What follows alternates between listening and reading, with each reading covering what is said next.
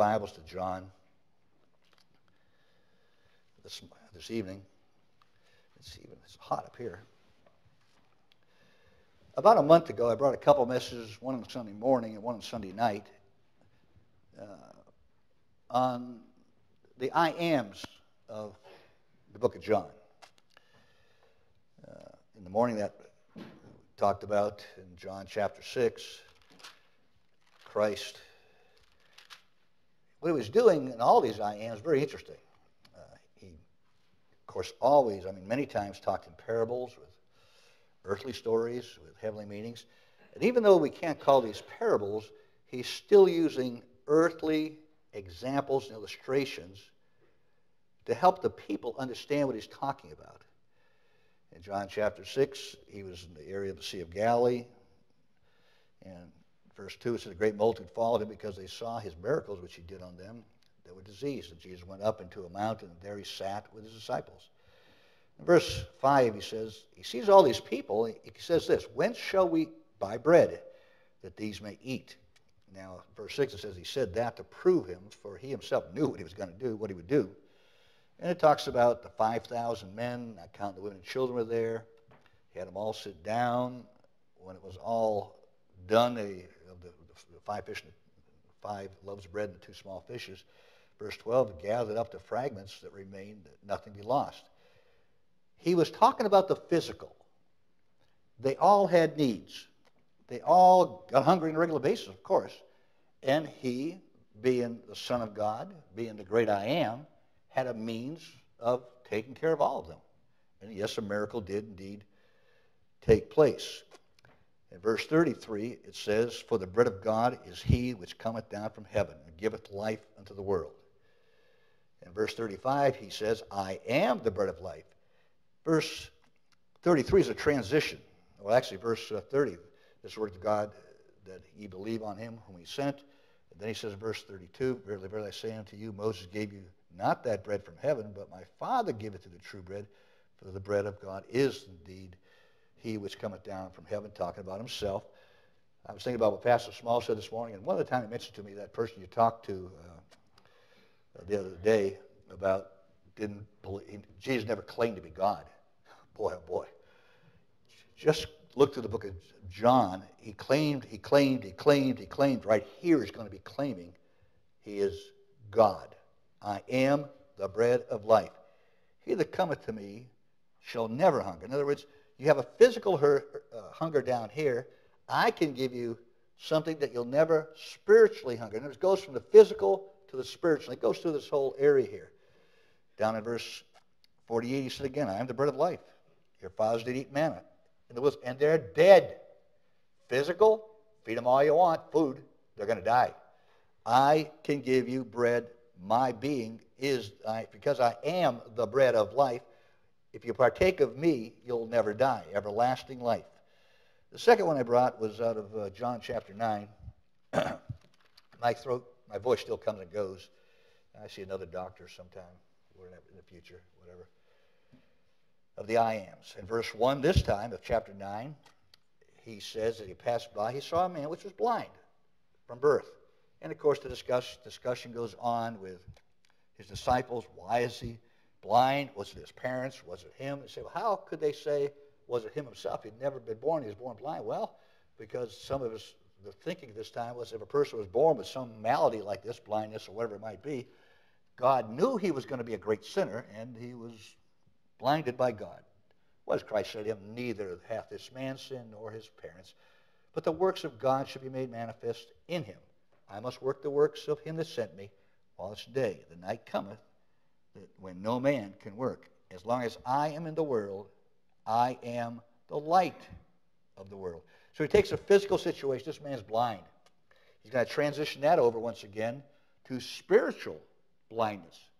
Think of all the people around us right here Mansfield, Litchfield, Hudson, Nashua, Hampstead. I mean, all the towns around us here. How many of them have ever really heard a clear presentation of the gospel? Uh, praise God, Connie on the other side of the street does know Christ as Savior.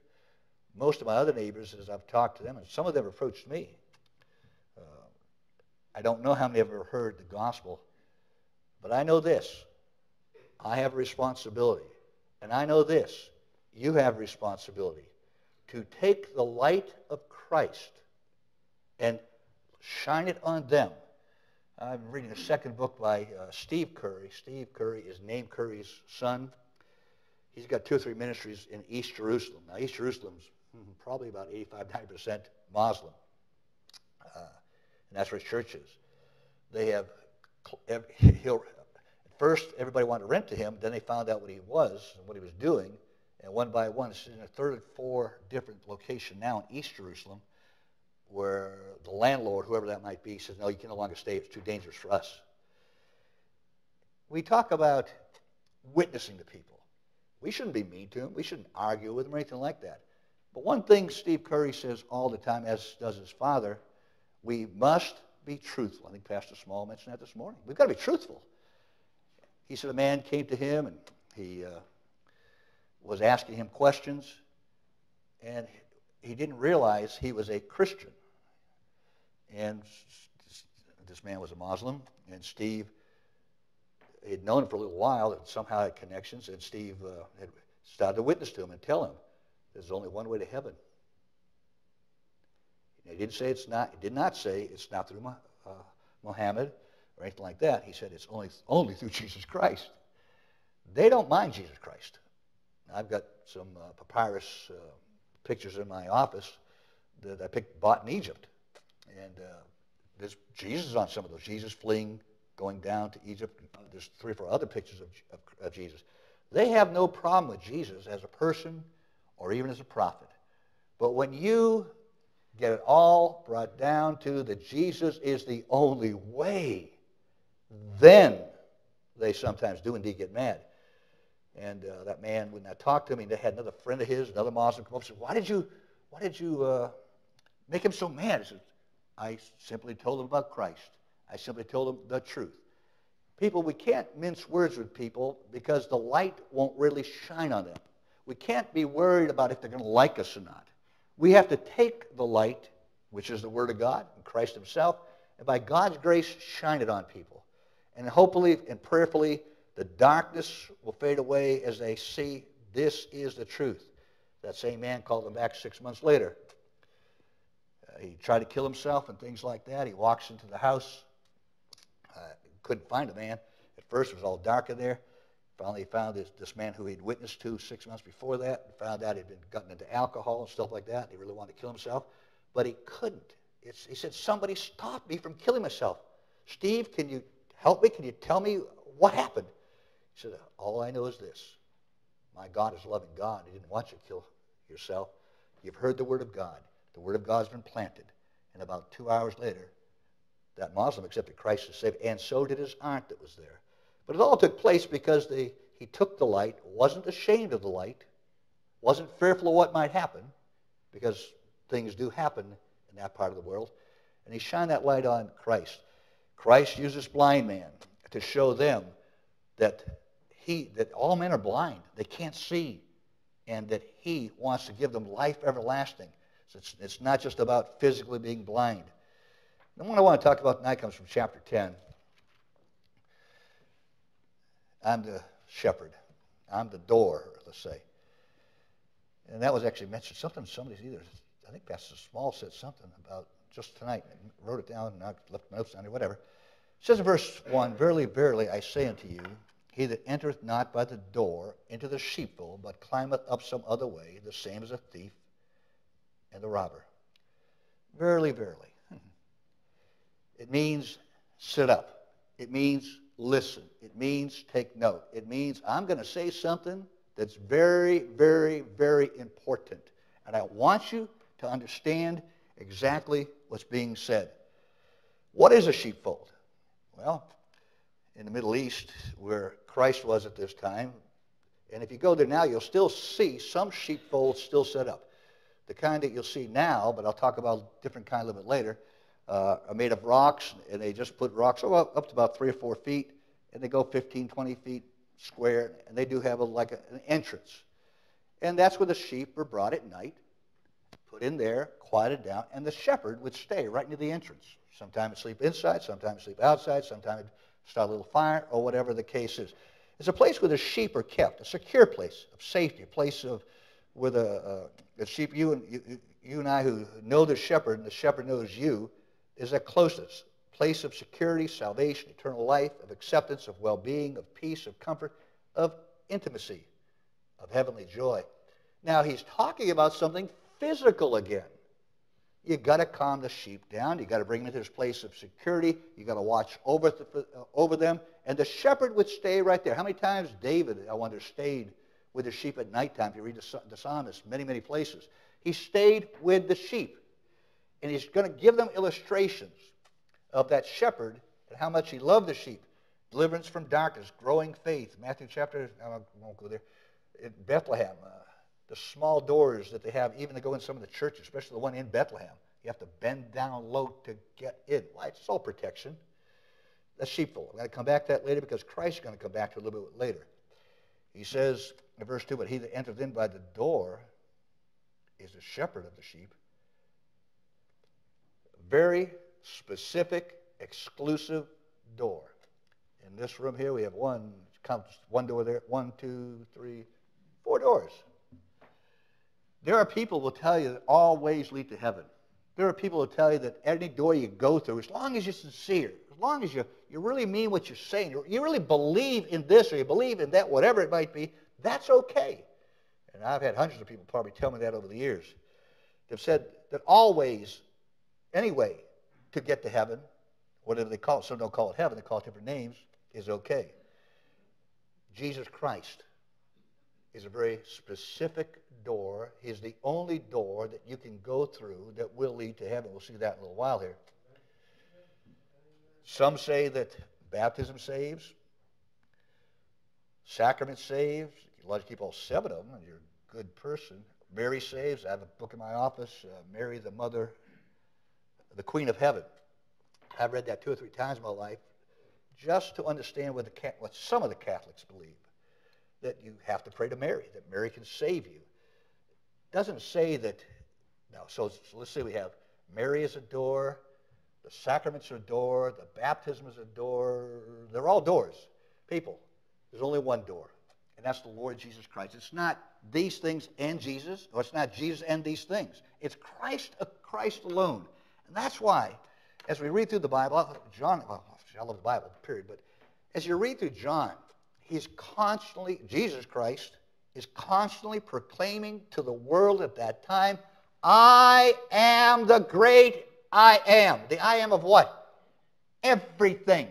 Not just spirit, not just light, not just bread, not just a door. He is God. I can't comprehend all that. He is God of all. So you can say, I am, and put Christ's name in conjunction with it. He is God. A God of love, a God of mercy, a God of under, who wants to reach out.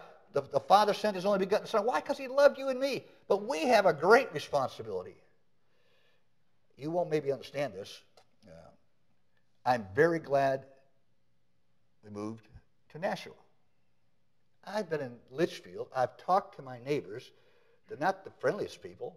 Uh, I got Presbyterians from right. They haven't been to church once since I've been there, as bright as I look out from my house. Guy on the other side, we talked quite a bit. Guy over there I talked to. There's a fireman down here, stuff like that. But as far as being open to the gospel, they have not been open. Now, part of that may be my problem. Maybe I wasn't concerned enough for it. Maybe I didn't wasn't burdened enough for it. Maybe I didn't put their names up to God. I mean, literally asking God to save their souls. I believe we all bear responsibility. And I'll know when I get to heaven how I did in some of these cases. I know the people around me, at least for two or three houses this way, and all there's one whole section I know all of them, and I need to remember them every night. I'm not the pastor anymore. I'm not the principal anymore. Now, right after my nine o'clock class, I go up to the teen room to pray, be alone. Just this afternoon, I was thinking about how busy I've been at times. God has his way of molding and making you and purging me or purging you. That's one of the songs we sang just a little while ago. So that I or you can be the most effective Christian God would have you to be. And many people didn't understand it at various times. I've talked to them. This is what the Lord wants done. This is what has to take place.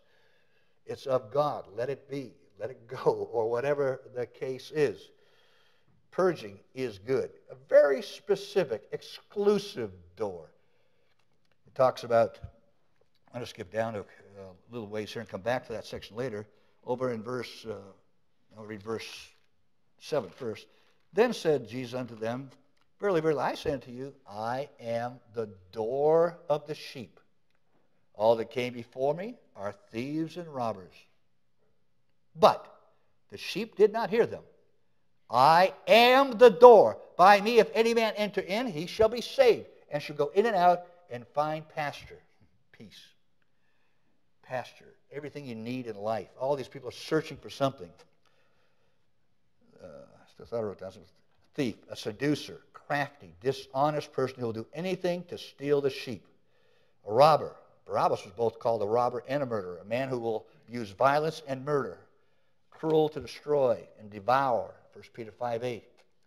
Third, Christ the true shepherd. Going back to verses 2 and 3, just want to read them again very quickly. He that entered in by the door is the shepherd of the sheep. To, to him the porter openeth, and the sheep hear his voice, and he calleth his own sheep by name, and leadeth them out. This morning in Dave's adult class, he brought up uh, Solomon. He says, we won't tell you the context, but he said, I could never remember a thousand names. Think about it. There's seven point, uh, seven and a half billion people on the earth right now. I believe God knows all their names. More importantly, He knows all of your names. He knows you because you're one of His children. I can't comprehend that. That how does He know all this? He's God. He is the I am. He's the, he's the, he's the I am the light. I am the door. I am the bread. He is. He, Jesus, who is the door, knows your name. He knows all about you. Think about that. And he still loves you. He still loves me. Sometimes when I'm writing a message, I just get uh, whatever inside. When I think about, yeah, he loves me, and he still knows, he knows everything about me. The sheep. Not meaning a group of sheep or herd of sheep, whatever you want to call them, but an individual. The sheep. You, the sheep. He knows you. We're all different. Now, if you had put 50 sheep in there, I'd have to look close to find the differences. But I don't even believe it's even physically talking that Jesus understands who you are, knows who you are.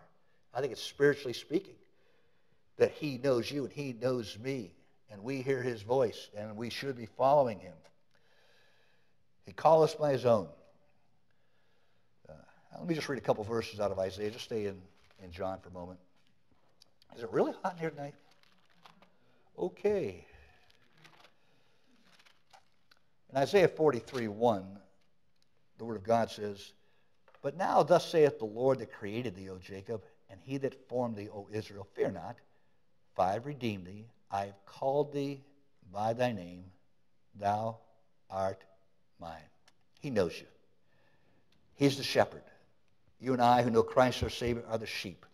In Isaiah chapter 40, verse 11, it says, He shall feed his flock like a shepherd. He shall gather the lambs with his arm and carry them in his bosom, and shall gently lead those that are with young. He's the shepherd.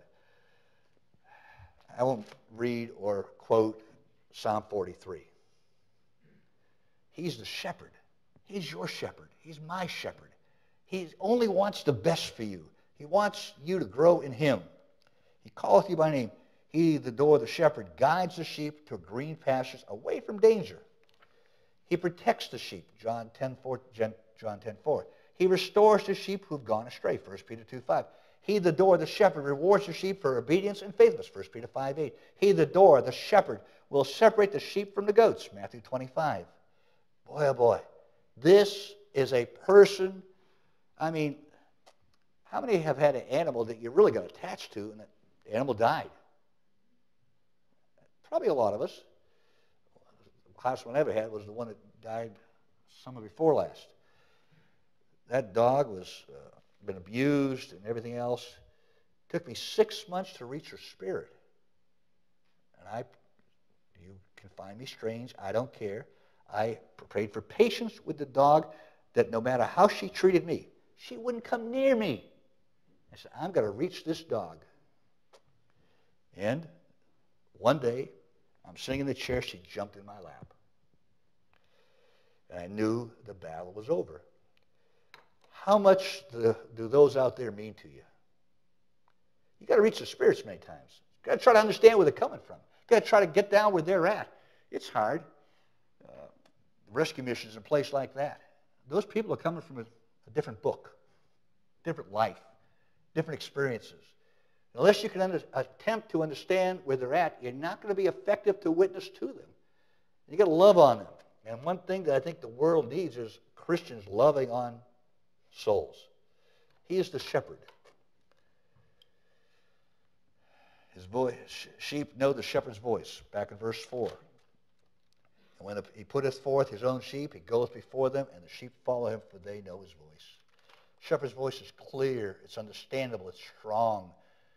He has, and the Word of God has the words of eternal life.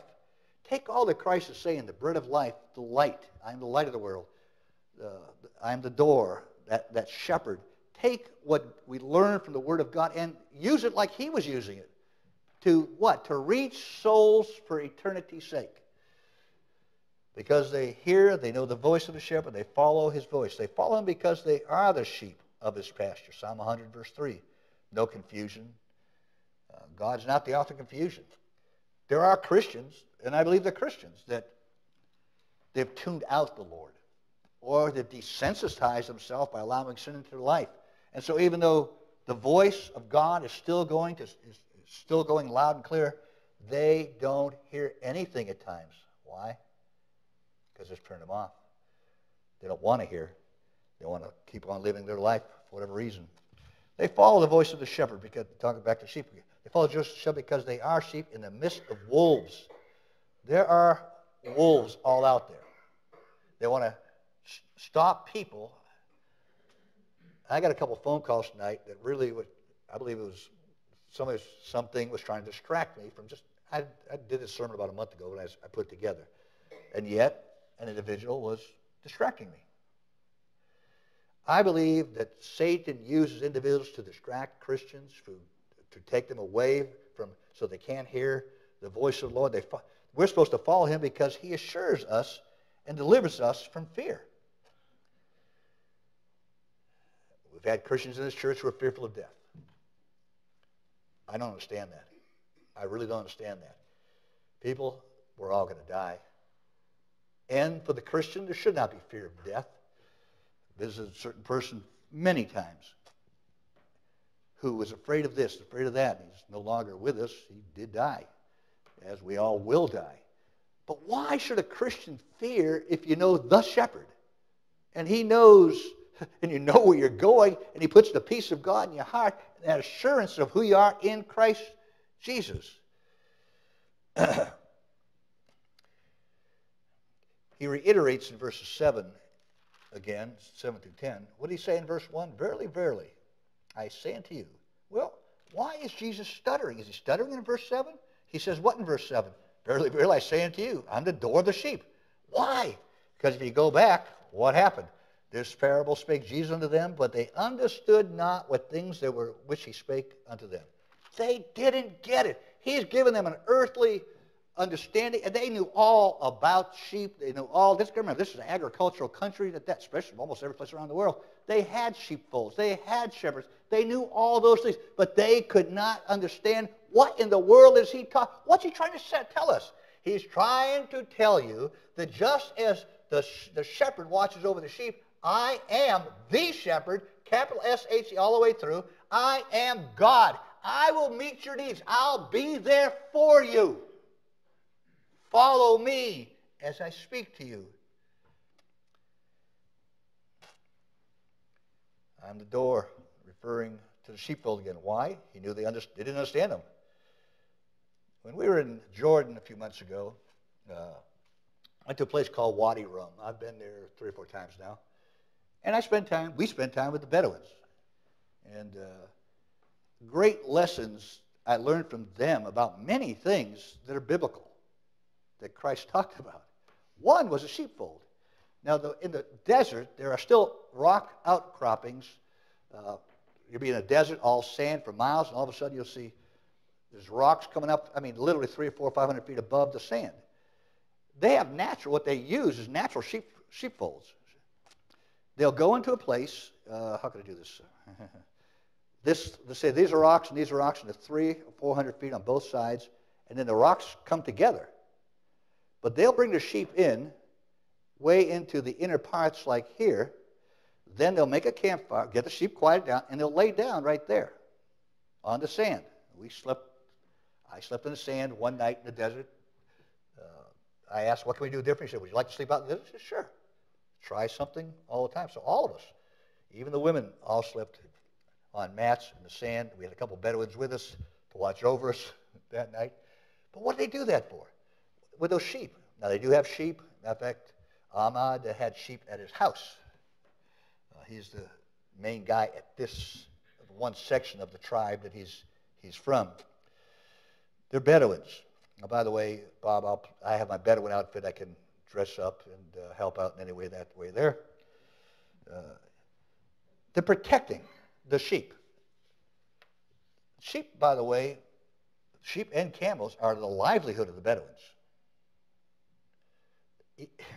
In this village, they've got a camel track, like a racetrack.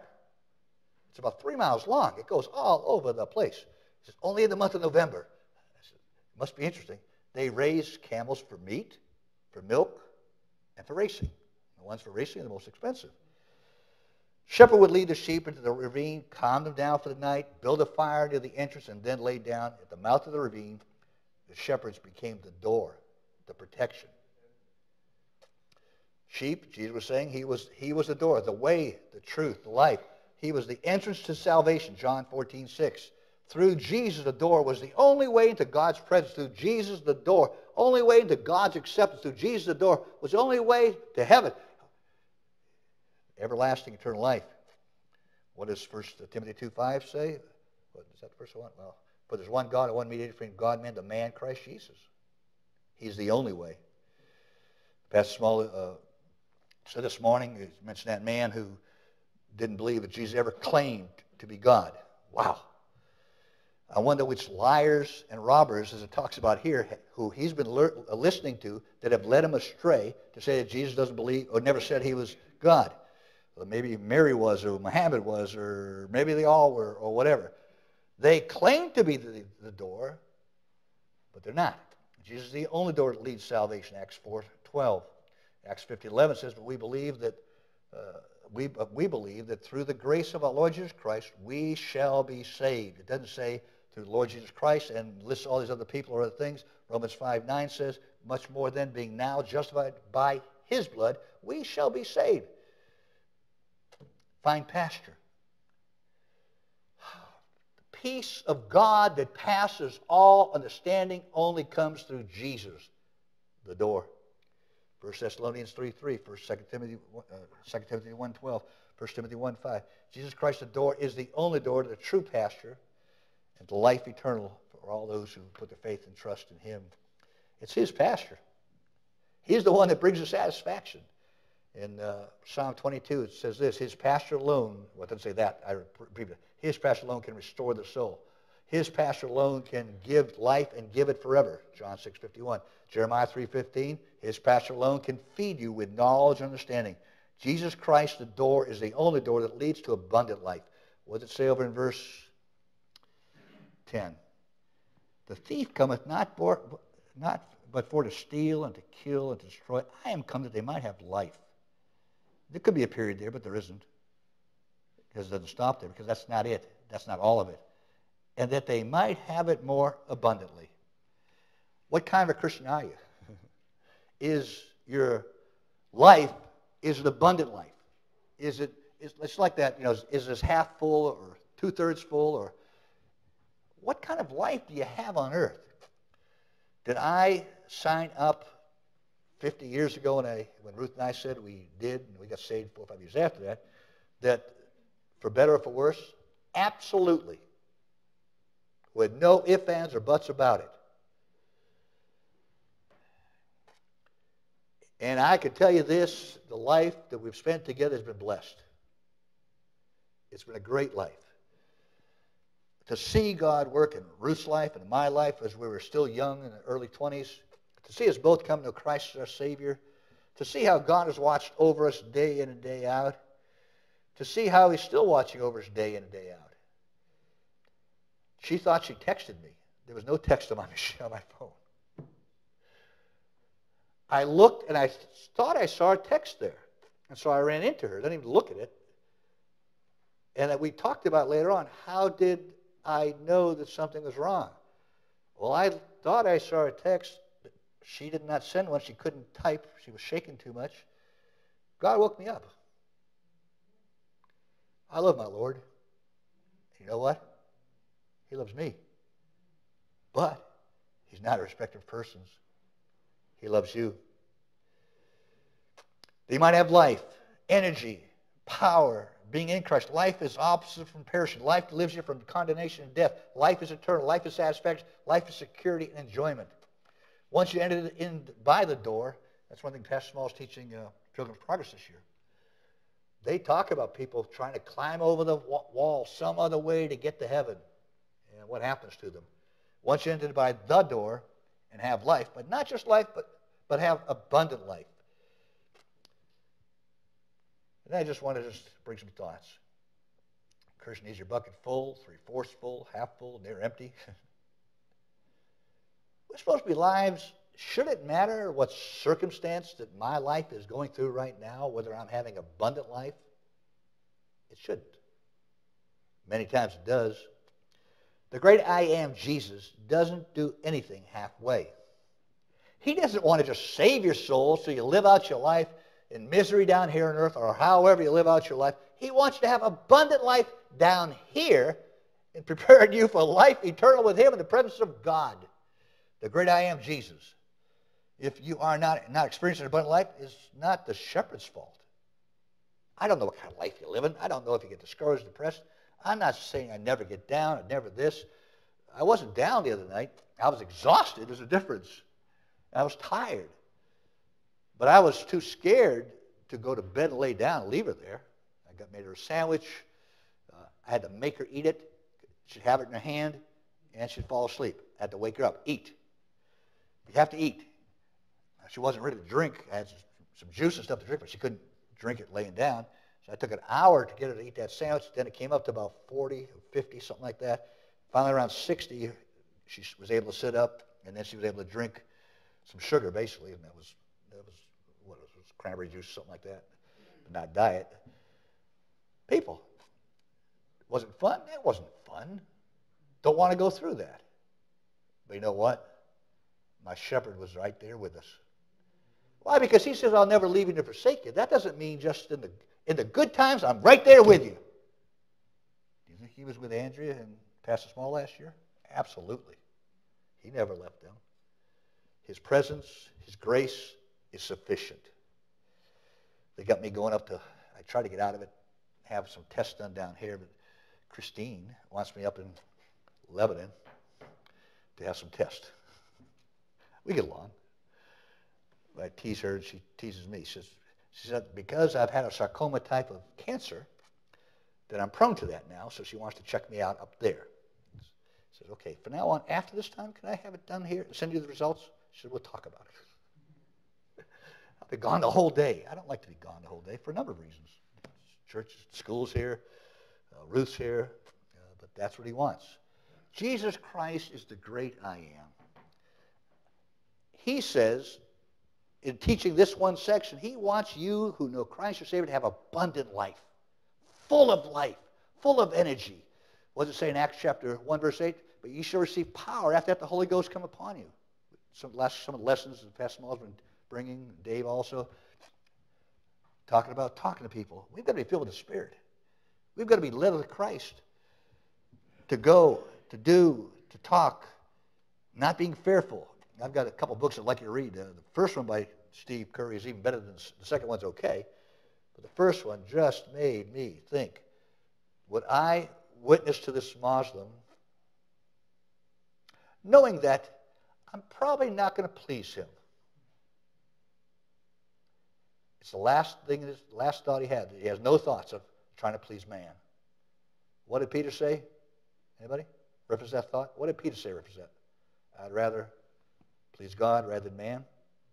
That to be your thought, my thought. We can't be fearful of being rejected. Gee, was Christ rejected? Time and time again. Were his apostles rejected? Absolutely. Yet they took the light of Christ. Yet they took the bread of Christ. Yet they took him being the shepherd and explained that to people with the purpose of prayers that these people might have their eyes open from darkness to light, might have their, their hunger and thirst quenched, not by physical uh, food or a drink, but by Christ. The, the, the, the, that's why he says, eat of me. He's not talking about, the Catholics take that as literal eating of him. Far from the truth. Whose voice do you hear? Have you been listening to other voices that lead you not to green pastures or, or pastures of peace, but rather lead you to doubt, confusion, discouragement, to heartache, to disillusionment? Then you're probably not listening to Jesus. And you might not even be saved if all of your endeavors or day after day there's another whatever and something else happens to you day after day. My dear friends, Christ is the great I am of all. There is none other. There is no other door. There is no other bread. There is no other light. And there's no other, some other I won't mention right now. He is it all. Do you really believe that? I have to ask myself, do I really believe that? Is my belief here or is it here? There is a difference. If it's here, then I'll take the glorious message that Christ gave to you and I and attempt by God's grace, by God's strength, that my, my speech and my preaching would not be with the touching words of man's wisdom, a demonstration of the Spirit and of power. And I'll take that to a lost and dying world, individuals. It was refreshing. It really was about a week ago. I was getting a haircut. The barber went after a person for Christ. I haven't been around that many people recently that they just uh, witnessed this person and talked to this person. It was real good. I got to get that barber in church. I know that person knows Christ as their Savior. She got disillusioned years ago and uh, had him at church in years.